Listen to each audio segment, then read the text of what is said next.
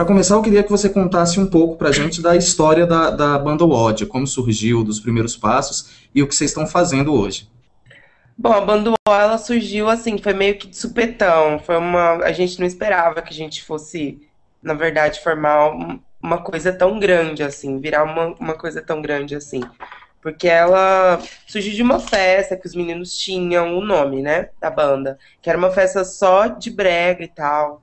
Aí depois de um tempo, eles fizeram um flyer que viralizou total, assim, inclusive até o Diplo, Madonna. Inclusive até o Diplo é, retweetou esse, esse flyer.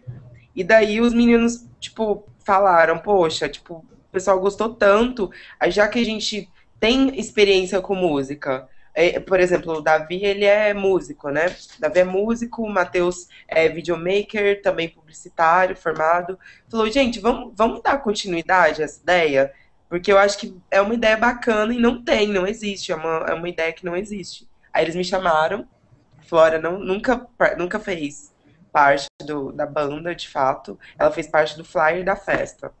E assim que começou, eles me chamaram para participar e a banda começou assim. Aí depois a gente lançou o Shake de Amor, que foi um, o, tipo, a minha entrada na banda, assim, de, de fato. E é isso, e a gente tá aqui hoje, muito felizes. Que bom. É, Kendi, a banda UO tem alguns elementos que fogem da fórmula tradicional dos grupos pop é, no Brasil. Vocês surgiram de Goiânia, tocam tecnobrega e a banda O tem uma, uma vocalista transexual. É, nesse período, nessa, nessa trajetória, já houve alguma situação de, de preconceito por conta de algum desses elementos?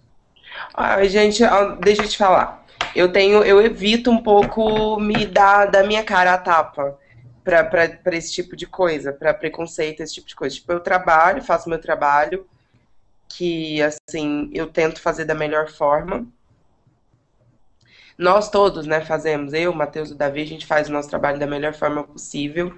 E a gente tá aqui para agradar quem gosta da gente, sabe? Tipo, eu não acho que eu que não, nunca, não me preocupo e não me ligo com quem não gosta de mim ou quem não, quem, sei lá, tenha preconceito contra o fato de eu ser transexual ou qualquer outra coisa dessa, assim. Você sempre se percebeu, Candy, como mulher?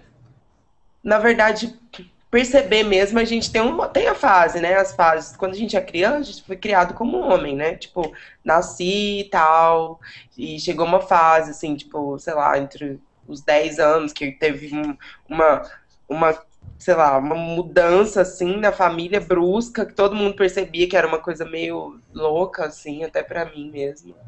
E aí, graças a Deus, minha família nunca foi, nunca foi má comigo, sempre foram muito bons, assim, tentaram me entender ao máximo.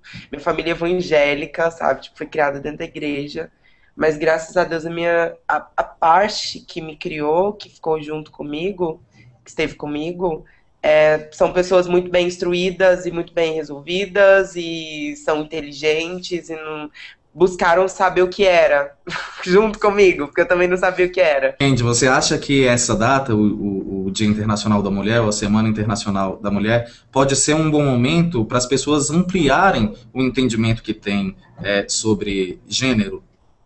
Eu acho que sim. Na, na real, eu penso o seguinte: gênero sempre foi diferente de sexualidade, né? As pessoas precisam entender que existem um milhão de gêneros, assim. Não existe só o masculino e o feminino. É, esse é o mais comum, né? As pessoas identificam sempre isso. Mas existem um milhão de gêneros.